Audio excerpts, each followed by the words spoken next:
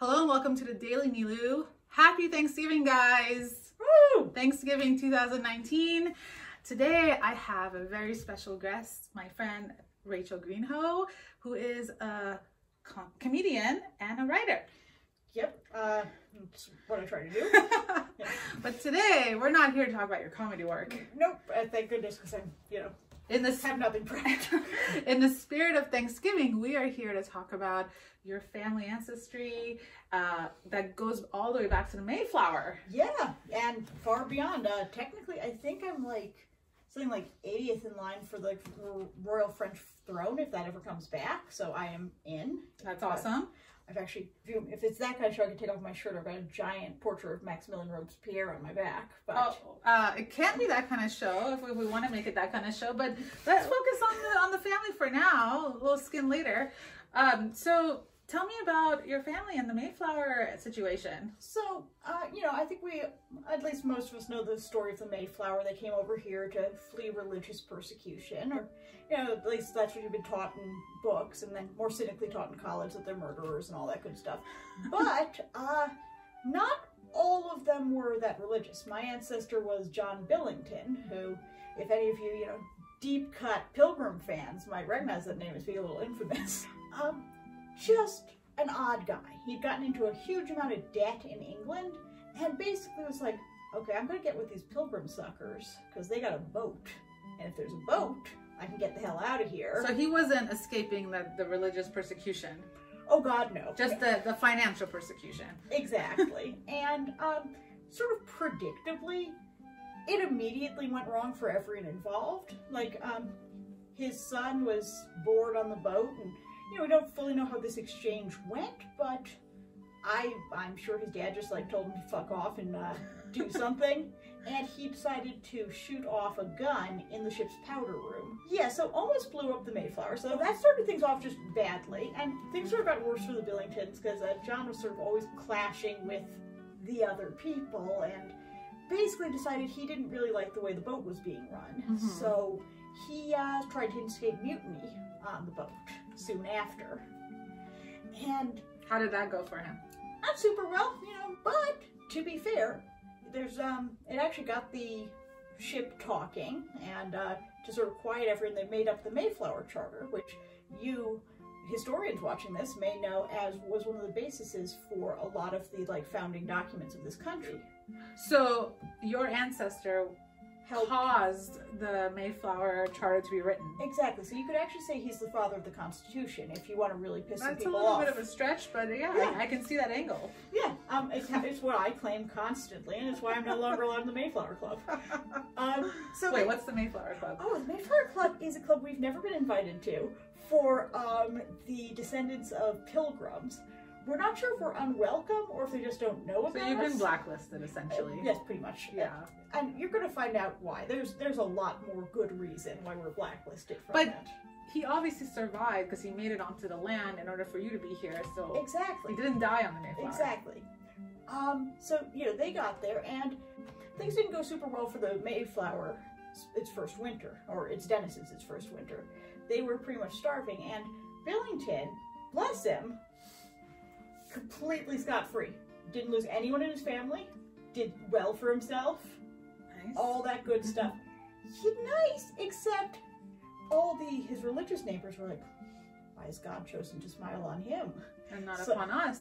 Exactly. So the tension started mounting. And now I'm telling, of course, a heavily biased version of this story. And, you know, other people would be like, he was always causing trouble. Now, was he stealing from other people? Is Well, that why he had and others did not That's have? debatable. That's debatable. All right. Um, his son also, um, I we could also say his son is the, um, because I'm just gonna make some really fearless claims. His son was the uh, founder of Thanksgiving. Because his Is son, that so? Yeah, his son, the one who shot off a gun in the powder room, got hideously lost pretty early on in their time there and was found by a local tribe who essentially were like, oh, these guys can't actually serve. If this guy's a representative example of the people who've just shown, they cannot take care of themselves. Darwin's gonna.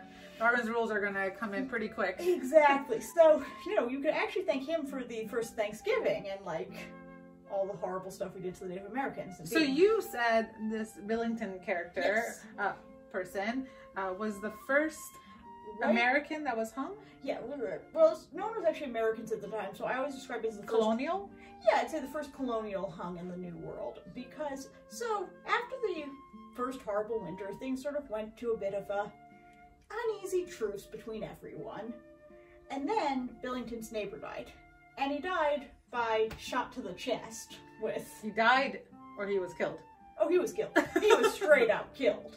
And um he'd been having a lot of disputes with Billington at that time. So it was pretty clear who did it. Now, here comes the interesting legal part for all you legal buffs.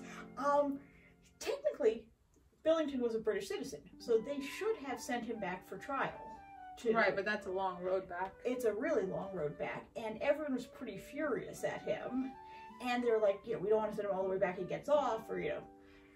So they just straight strung him up.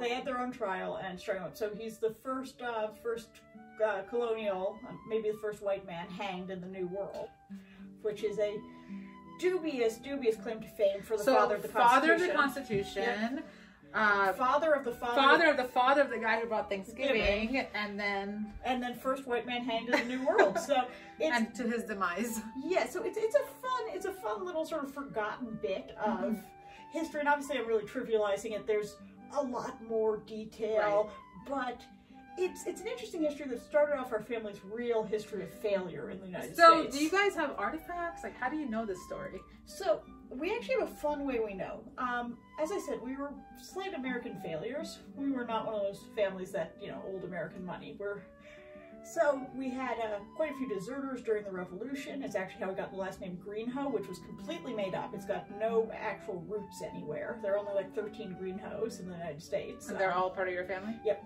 Okay. um, and we think just a deserter made it up to hide his identity or maybe an adulterer.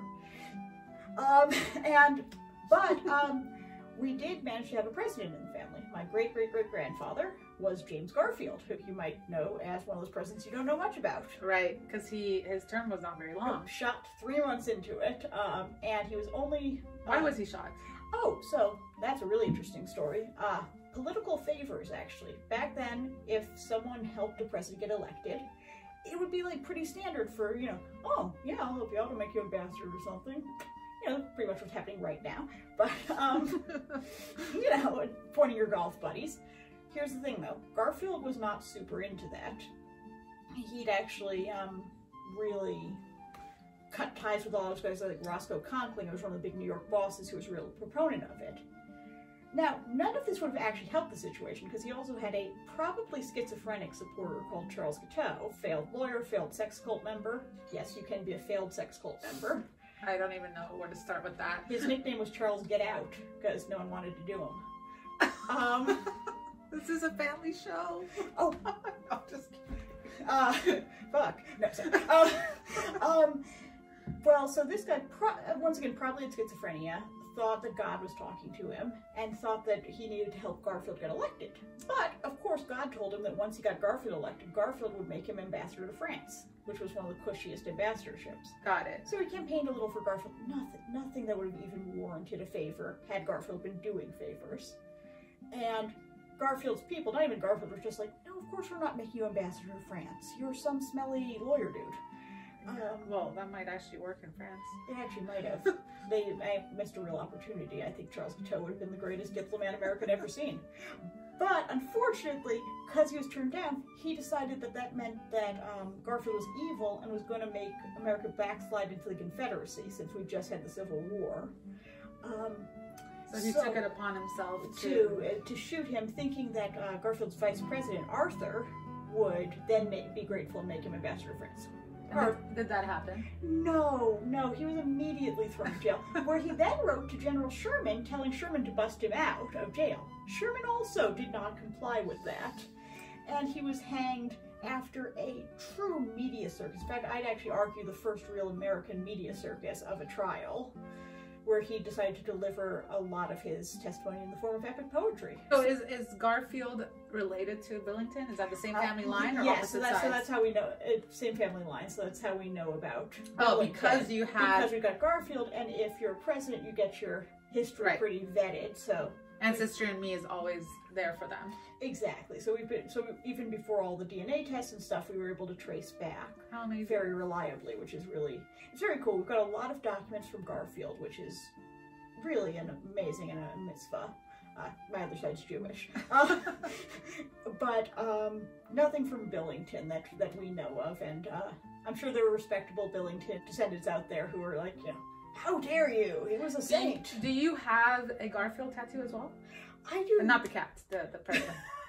Uh, I do have a cat tattoo. No, um, I don't. I'm, I'm hoping to get one at some point. Um, right now, all I've got is a vulture that's tribute to my late grandmother. Uh, uh, a little distasteful, yeah. uh, but she loved vultures. I swear. I swear this isn't... loves vultures? Very sweet, but somewhat like eccentric old women who watch them on the downdrafts and updrafts of their house for ages, and then are like, "No, when I die, I'm coming back as one, so I can show you all that I can fly and you can't." Got it. So. So Thanksgiving at your house must be a lot of fun. Oh, Thanksgiving at my house is a great time, though. Weirdly enough, not for the reasons you'd think. Um, it's actually my mother's side, the Jewish side, that's embraced Thanksgiving. My dad's side, we've just got all the documents, so they can talk your ear off. My mom's side, though, has a big emphasis on letting anyone come to Thanksgiving. So it's called an Orphans great. Thanksgiving. so That's we have people from all over the world who come to our house in Brooklyn, and And I think with, you know, Billington in your background, that's good karma to have that your mom's opening the house to everyone. Well, that's how we feel about it because we've got a lot of ancestors. You know, you can't have an old American family without having a lot of fucked up people in it. Um, we do try to make our home uh, a happy place and a place where anyone's welcome, regardless of what your past Beautiful. is. Yeah, I love that. yeah. That is the spirit of Thanksgiving. That's that's definitely what we think, and I think it took the sort of old American spirit and the much more like much more recent immigrant Jewish um, side to sort of bring that together and bring it out. And it's it's a wonderful time around our household, but. You know, sometimes I get out the trial manuscripts for Garfield's trial and read off a bit. You know, we have fun. In a voice, in a specific voice. Of course, you, you got to do a specific voice. Can, can we hear some of that? Uh, see. I am going to the Lordy. I am so glad. I am going to the Lordy. I am so glad. You know, just just the regular sort of crackpot on his way to the gallows voice. Uh, So Rachel, uh, fascinating, Thank you. fascinating story. Are, are you gonna, since you're a writer and a comedian, are you gonna be publishing any of this anytime soon? Uh, yeah, so I've, I've been working on a script about the uh, sort of true origins of the first Thanksgiving. Um, sort of comedy drama, a little more comedy, and I'm also uh, working on a short form television series for uh, the trial of um, Guiteau, which really was first America's big media event, and Guiteau was.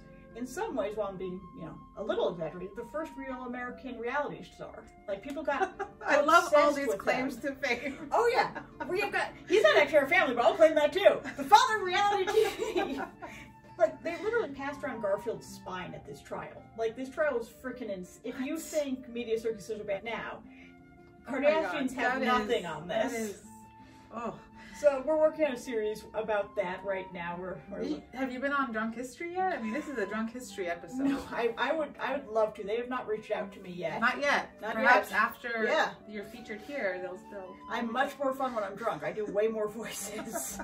um, but yeah, so we're, we're working on a sh- um, show about the Guiteau trial at the moment because it really it's very indicative of where we are now. Yeah.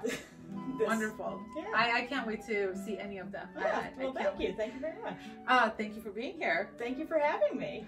And I hope you guys enjoy this on this beautiful Thanksgiving day and enjoy your turkey. And I'll talk Yeah. to you tomorrow. Try not to get shot. Bye.